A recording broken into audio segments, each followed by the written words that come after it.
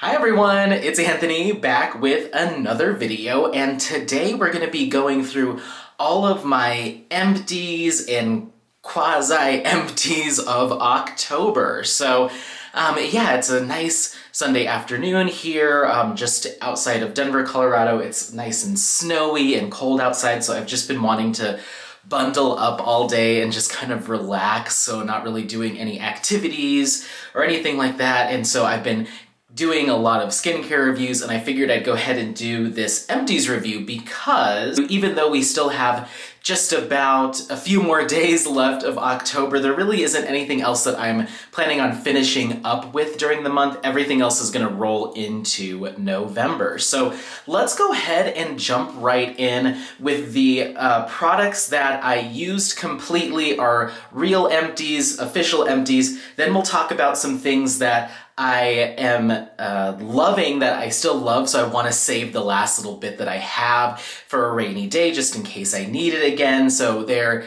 empties in the sense that I moved on, but want to save what I have left. And then empties that are, they still have product in them, but I was not a fan. So kind of the fails for this month, there's only a couple. So let's dive into what I uh, went ahead and finished completely. And we'll start with the Beekman 1802 Buttermilk Makeup Melting Cleansing Balm. So this is a balm style cleanser, just like you would expect. There's a little spatula in here. I can, I can show you what the actual package looks like.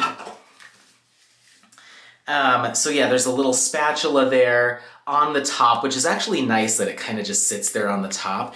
But you just scoop out some product, work that into dry skin. That'll help to break up makeup, excess oil, sunscreen, those types of things. And then you rinse it clean. So very, very typical cleansing balm.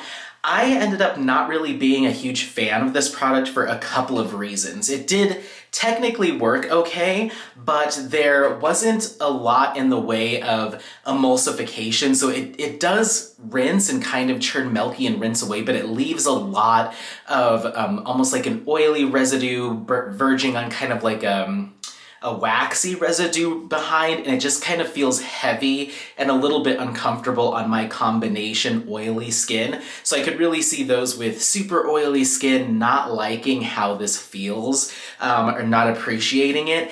And in addition to that, it has kind of a interesting. Keep in mind there's no synthetic fragrance or essential oils, but it has this kind of petroleum kind of scent that just isn't very attractive, especially when it's focusing on having goat's milk and protein. I thought it would have like maybe a lighter scent, something a little bit creamier, but it just is a little off-putting. And then the last thing that made me uh, decide that this just wasn't something that I would will be willing to come back to is you've got 1.44 ounces of product, which is about half the size that you would normally see in a typical cleansing balm. For instance, um, I just posted the review on my blog for the Farmacy Green Clean.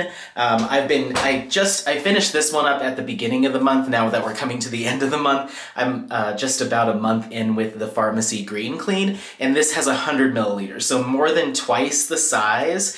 And I believe the Beekman 1802 Buttermilk Cleansing Balm is more expensive. So it's kind of twice the price per ounce than even some other um, like Farmacy, which is already kind of like a high priced cleansing balm. So it, this is very, very high priced cleansing balm and it just didn't perform the way that I would have expected it to. I could see maybe those with super duper dry skin or skin that just needs nourishment and protein or you know um, that you if you really like the goat's milk and like the milk-based protein products if you want that in every step of your routine and you really don't care how much it costs and you don't mind that weight that's left behind then this might be a good option. But I think something like the Farmacy Green Clean, the Glow Recipe, Papaya, enzyme sorbet, whatever that was called, the papaya cleansing balm from Glow Recipe would be another really nice option. Um, the Then I Met You Living Cleansing Balm is a nice option as well. And then if you don't mind pads, if you want something that's like a cleansing oil but in a pad form, the Solve Skincare Coconut Oil Cleansing Pads are also very nice. So there's just better options, I think, out there uh, for even like half the cost. So something to keep in mind. Next up, let's talk about some of, or the rinse off product that I finished, and that's from The Ordinary, and it's their salicylic acid 2% mask. Um, I finished this and then started in on a second one, in, but I'm now moved to another BHA product. There's actually, I think, a little bit still in here, so I might be able to get like one more use out of it. Um, but I am really, really liking this mask. I'm a huge fan of it. It's, uh, I believe it's kaolin based. Um, yeah, so kaolin, squalane, glycerin, there's salicylic acid in here, and then you also have charcoal. I mainly came, uh, came to this mask for the salicylic acid piece because sometimes it's hard to find a BHA that just lives by itself. So you've got like the Paula's Choice fluid. There's one from Farmacy that I use that I wasn't super impressed with and a couple others, but most products have AHA slash BHA in the formulation, which I don't mind, but sometimes I like to break that up. There's certain days where my skin doesn't need glycolic acid or lactic acid or something like that. I just need the salicylic acid to dive a little bit deeper. I wanna minimize the potential for overexfoliation, so I'd rather customize it. Some, uh, most days I can use both, but sometimes I like having one or the other. And I really liked this because it came in that clay mask as well, so I felt like it was helping to not only break up excess sebum, help to fight against uh, blemishes and acne, but also to help remove um, excess oil and sebum as well. So it's kind of breaking it up and pulling it away. And so it was just kind of like a nice reset mask. And so yeah, I think this is absolutely something I'm gonna be coming back to. I think it's $12 and you get 50 milliliters, which is a pretty decent size for that price. Um, the other mask that I've used isn't BHA, but I'd say it's kind of my second favorite clay mask, and it's from Trotiaudique, and it's their Accent Pore Control Mask. This is really nice, same size, 50 milliliters. It's a nice mask, helps to smooth skin, reduce the appearance of pores, but you're looking at, I believe, 35 to $50 per 50 milliliters. This is the exact same size and it's 12 bucks, plus you have the BHA built into it. So I'm really, really liking the affordability, flip it the right way, the affordability of this ordinary salicylic acid 2% mask compared to some of the other ones that I have been using in the past. So um, I'm gonna have to hang on to this. I didn't realize there was a little bit left, so that's going in the save pile. Um, but very, very happy with that product from The Ordinary. Next up, we have um, one of the lotions or moisturizers that I finished this month, and that's from I'm From, and it's the Mugwort Cream. And so this one is one that I've had in my stash for quite some time. Features 73.55% mugwort extract. I love the mugwort essence. I really liked the mugwort sheet masks as well, and then the mugwort wash-off mask that has like the little bits of twig in it, or bits of mugwort. I love all of those products. They're incredibly soothing almost like instantly soothing. You put it on and by the time you're ready to wash it off, or with the essence, by the time you've done a couple of layers, it's really helped to reduce redness inflammation, um, all of those things. It was great when I was adjusting to tretinoin just to help reduce any itching or stinging or redness that I had on my skin. However, the mugwort cream wasn't quite as impactful as those other products. This particular cream, um, I've got just a teensy little bit left in there, um, has a lightweight feel or a lightweight look to it. Let's see if that'll focus, yeah. Lightweight, kind of almost jelly-like feel to it. Um, so you'd think that that would translate to just absorbing incredibly quickly and feeling super lightweight on the skin, which it does if you have drier skin, I would think. Like my hands tend to be dry, so it feels that way on my hands. But on my face, I always felt like it was a little bit oily, almost verging on greasy, didn't always absorb incredibly well, especially if I had layered up on toner or essence and it just kind of left a bit of a residue on my skin each time I used it. So it wasn't perfect as far as absorption and comfortability. It didn't deliver that immediate, um, I, I, like to call it kind of that triage, soothing and anti-redness that some of the other I'm From Mugwort products provide. This was kind of my least favorite of that Mugwort line. So I don't think this is something that I would be coming back to. However, those that aren't necessarily looking for an immediate hit of calming and soothing, but want that over time, I think incorporating something that has this high percentage of mugwort is probably beneficial over time, especially if you have drier skin that just soaks everything up. This could potentially be a really nice product. But for me that I just get bouts of dryness or bouts of redness, bouts of irritation where I'm just running to the bathroom and I'm like, let's see if we can fix this. Like, let's just calm everything down in the moment. This wasn't my favorite. So that's that for the I'm from Mugwort Cream. We'll talk about SPF. As you all might know, I burn through a lot of SPF because I typically apply it every two hours religiously, indoors, outdoors. It always happens. And so I've got two face sunscreens that I used, or I got through. The first of which is the uh, Keep Cool. This is the Soothe Bamboo Sun Essence from Keep Cool. So this is a super lightweight, nearly kind of watery um, sunscreen or sun essence. SPF 50 plus, PA 4 pluses in this one. And it is just very lightweight, very, very uh, lightly hydrating, which is great. It's got, it features a pretty high percentage of bamboo extract in it. Let's see what we have here. Um, yeah, almost four, or just a little bit above 40% bamboo um, water, I'm sorry. It also has bamboo extract and it has several different forms of sodium hyaluronate. I did a full review video of it, so take a look at that video. Um, but this is probably one of my most favorite essences of the year or sun essences, sunscreens, if not my most favorite of the entire year. It was just super, super lightweight. There's no real scent to it. It just kind of melts into the rest of your routine and feels very, very comfortable. So I, I think this might be the one for 2020. Um, we'll see. I have one more sunscreen that I'm testing that should make it to the end of the month and that'll kind of be the last one before I put together my favorites list for the entire year. But so far, Keep Cool is um, is number one in my book. I'm really loving it. Kind of hard to see with the lighting, but yeah, very happy. And then the other sunscreen that also really, really impressed me is from the brand Bellflower, and this is their Watermelon Fresh sunscreen. Once again, SPF 50+, PA 4 pluses. So this is a little bit of a heavier sunscreen. I would still consider it kind of that gel lotion, but let's see if I can get any more out of this. It's a little bit more creamy. Yeah, there's some. Um, so there's that. And so it just has a little bit more weight to it. Feels a little bit more like a cream rather than like being a drippy kind of gel lotion, but it's still very, very lightweight. Um, it features watermelon extract. It has some other hydrating ingredients in it as well. You've got niacinamide in here. Um, Centella asiatica makes it towards the bottom of the list. Sodium hyaluronate's in here as well.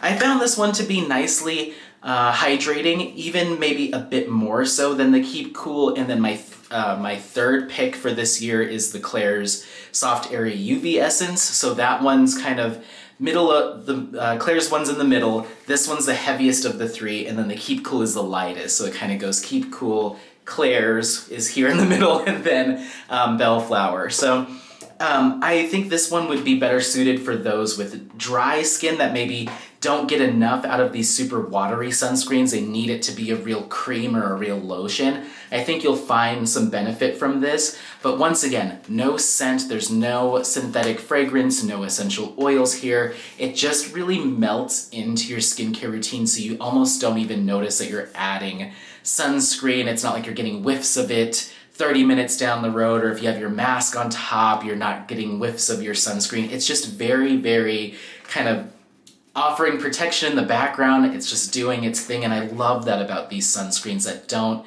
um, that that do encourage you to continue to apply it. They're just very, very comfortable and approachable. So this was uh, another win. Uh, essentially, two of my top three sunscreens I discovered in October, which is like the last month before I start putting together my best ofs. So it was a very, very lucky year, both of these products have been awesome. And I think this one's about $14 depending on where you pick it up for 50 milliliters. And this one's about 25 depending on you where you pick it up and they're the same size.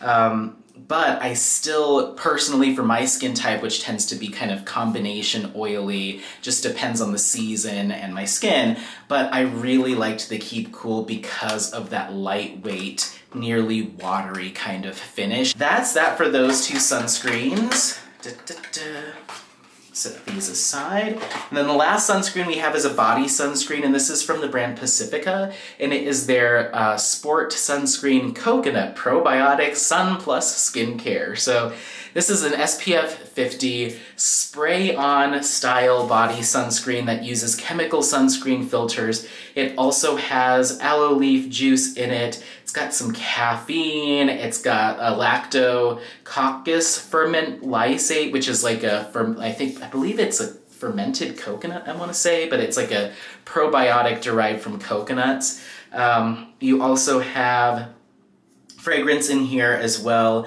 rosemary leaf extract. The actual ingredients list isn't that long. It's mainly just the sunscreen, alcohol, and then some other stuff. And while this wasn't a terrible sunscreen, it wasn't my favorite because the alcohol in it is very, very apparent. It has that intense kind of alcohol um, fragrance to it. And then they use the natural and essential oils for the um, for the fragrance, and it has this kind of like coconut tropical scent to it. But those essential oils do kind of leave a little bit of an oily feeling on the skin. It's not the most comfortable sunscreen.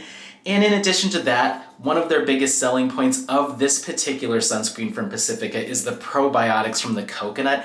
And I honestly don't think that things like caffeine and probiotics are going to make their way through your body skin and impact the skin on other parts of your your body like they would your face. Your the um, the skin on your face is a, a little bit thinner, it can um, technically absorb ingredients a little bit easier, and can be better impacted by things like antioxidants and probiotics for anti-aging benefits and those types of things.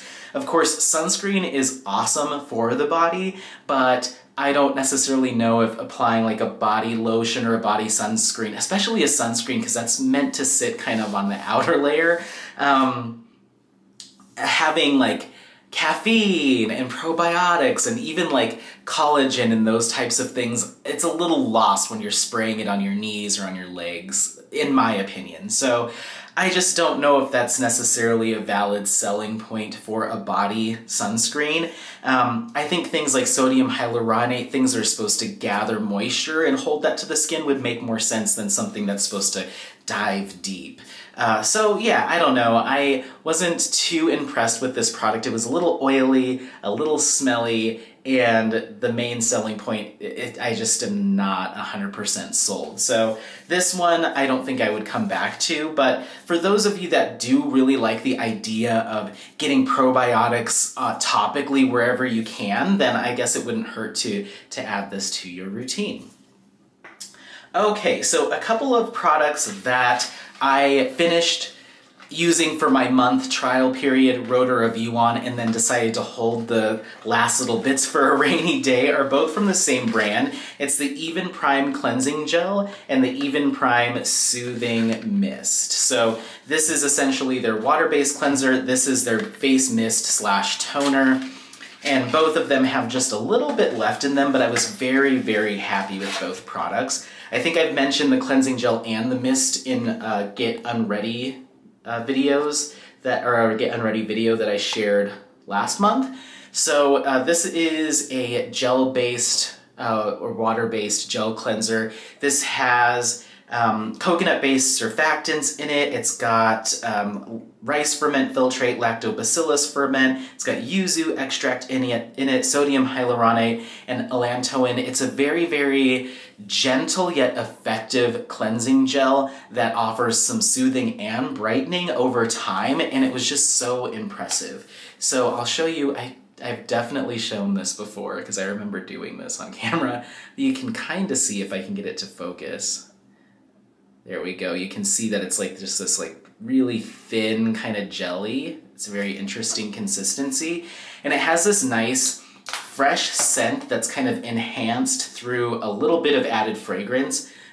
But it's it has it's like a watery scent. It doesn't smell fresh like laundry fresh. It smells fresh, like it kind of just, they've just enhanced that glycerin kind of watery scent. It's very, very interesting. It doesn't lather a ton, but I still feel like you get that slip in that glide that you normally would. The only thing with it is with a Foreo, I tried using it with a Foreo cleansing tool, and this consistency, this type of jelly consistency, just didn't vibe really well with the Foreo, and I felt like there was more friction than there normally is from like a, a foaming cleanser, so I ended up just using this with my hands, which totally works fine, and I encourage that because it just feels so good. But yeah, non-stripping left my skin feeling really hydrated, left my skin feeling soft and smooth, and over time I noticed an, a bump in brightness. I think it's more of a support piece to some other brightening products in my routine as opposed to it doing all the heavy lifting, but it's nice to continue to have rice ferments and uh, different ferments in each step in my routine. I kind of like that. So this was an absolute win. I've got about that much left in the bottle and I intend on saving it just in case maybe another cleanser I use down the road doesn't go well. I can fall back on this just to kind of bring my skin back to a happy place. So that's that. And then with the Soothing Mist, I've got just a little bit about here left. This is a soothing kind of facial mist slash toner slash essence. I ended up using it as an essence.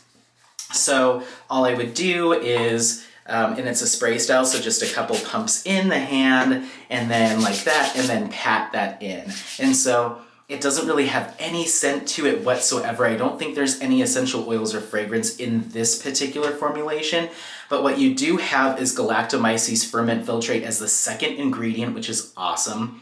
Allantoin, sodium hyaluronate, niacinamide in here, plum extract, sea buckthorn extract, madecassoside, so this like beautiful combination of skin reparative ingredients plus some brightening in it, some hydrating. It's kind of that really nice blend between maybe a toner and an essence. So usually in my for my essence step, a couple pumps, pat that in, a couple more pumps, pat that in, and that's how I would use this.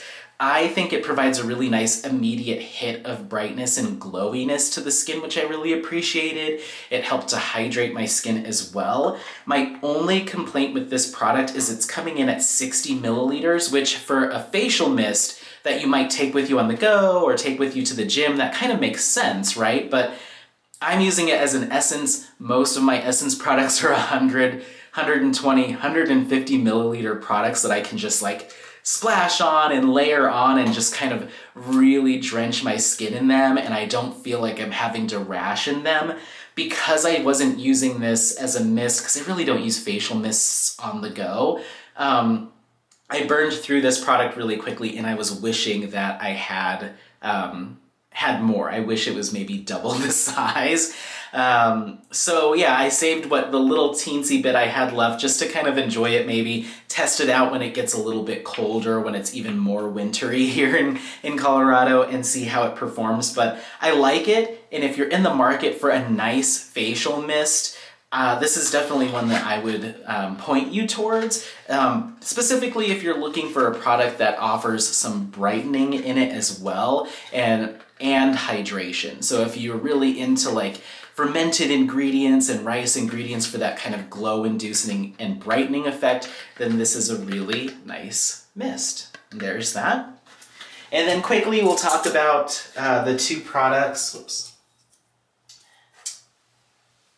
Okay, so quickly we'll talk about the two products that I used and didn't even make it a full month did my review and I just wanted them away. Uh, one of these products I didn't even review. So the one that I did review, it's did review, it's from Cotz and it's their lightly tinted lip balm SPF 45. This is a lip balm that has sunscreen in it and it uses uh, mineral or physical sunscreen. So you have zinc oxide in here as the skin protectant. And while it did work okay and it did protect my lips, the tint that it has is this really interesting kind of brown let's see, there we go, brown tint to it. And it just does not look good on my lips and it still doesn't mask the white cast from the zinc oxide. So I had, I ended up with these like kind of sickly looking whitish brown lips. It just wasn't a good look. And um, it does have like a berry scent, which was fine, but it wasn't my favorite. And so I just did not like this sunscreen lip balm. For my lips, I think the chemical-based sunscreens are where it's at because they are transparent. They're gonna let the natural lip color come through. And I just find that to be a little bit more comfortable and aesthetically acceptable for my, my taste. So people might like the tint that this product gives or might not mind that bit of white cast depending on the shade of your lips, but for me it just looked off and I decided to use it for I think about a couple a couple weeks, maybe a week and a half and after using it every single day for that long, it was a no-go after that time. So this one's gonna probably get um, placed in the garbage, unfortunately. And then this one, another product that's most likely gonna get placed in the garbage, and it's so hard for me to say this because I I really want to like this brand. It's from Rosen and it's their Bright Citrus Serum. So this is their vitamin C serum. It also has mulberry extract in as well and it's 20% vitamin C, so pretty high. Um, it, obviously, vitamin C is supposed to be a powerful antioxidant that helps to reduce dark spots, hyperpigmentation, brighten the skin, support um, sunscreen, fighting free radicals, those types of things. So I love a nice vitamin C in my routine, and my favorite right now is still the Glow Recipe Pineapple C Bright Serum. And But I wanted to give this product a try just because I was curious about um, exploring other vitamin C options, but this brand specifically is a um, black-owned brand, and so I just really wanted to try a selection of their products and see what they're all about. And I do see them pop up quite frequently on Instagram, and the prices are actually pretty affordable. I'll put links to all this stuff so you can take a look on your own. But this particular product is a pump style um, vitamin C. So I found that because it's incredibly lightweight, it was hard for me to actually get a nice even layer. So one pump, even this says two to three drops, one pump is like five drops probably. I'm not really sure how they measure that. But by the time I would work it between my hands and try to pat it in, it was for the most part dried into my palms or it would immediately absorb to like the first place I placed it. So I ended up having to use like three pumps just to get a nice layer, or what felt like a nice layer on my face. It just was a very uneven application because this is so watery and lightweight. It just doesn't smooth onto skin very well. The other thing that I wasn't a fan of is this product oxidizes very, very quickly. Um, even the first time that I used it, it already started to, to look a bit yellow just from the first application. But even uh, now, I think we're about two weeks into using this, maybe a little bit longer. And you can see that the vi I don't know if you'll be able to see that, but the vitamin C starts to dry inside this little applicating pump. So inside here, you can see dark red, oxidized residue from the vitamin C. Um, even around here, because this is a twist off, I believe an airless pump that's twist off, but the product is starting to kind of migrate its way to this seal. So you can see a, a, little band of orange oxidized vitamin C serum right at the cap. It just does not look very appealing at all. And now when I pump it out, I can see the little chunks of oxidized dried serum. The actual serum itself is starting to look a bit orange. So the shelf life on this, in, in my hands, I think I had it in my stash for about three weeks and then on my face for about two weeks. So I think from the time I opened the package to when I decided to stop using it, it had been about a month to a month and a half. And this product, in my opinion, is no longer usable due to that oxid oxidation. It's kind of hard to see on camera, but you, if you look in here, there's just like all this little red bits in oxidized serum. It's kind of nasty. So I was bummed. I was bummed because I really wanted to like this product and like this brand. I still have a cleanser from them, a moisturizer from them, and a toner from them. I ended up bailing on their serum, their Paloma serum, because I guess I didn't realize how many fragrant essential oils were in it. So I decided to give that to someone who doesn't experience sensitivity to essential oils or fragrant essential oils. Um, so I'm left with just a few of their products and even looking into them a little bit deeper, really reading through the ingredients list, I'm, I'm even still at this point hesitant after filtering out the stuff that I bought that I don't think would work for me. Um, I think I just got really, really trigger happy because it's a black owned brand and I really want to support them. And I had seen a couple good reviews that I kind of just clicked on like five or six products that on, you know, from face value looked like they might work, but even their cleanser, I'm reading it and it's like lemon extract and I'm not seeing I don't know, I'm not seeing what I would normally like to see from a cleanser on the bottle. So we'll, I'm gonna experiment with it. I'm gonna continue to give Rosen products a try, or at least the last few that I have in my stash, but my expectation is not as high as it was when I first received them or when I placed the order. Um, I'm, I'm just disappointed or a little bit disheartened by the results from this first product. I think in the week or, a week or two that I did use it, my skin felt fine. I wasn't reacting poorly to it.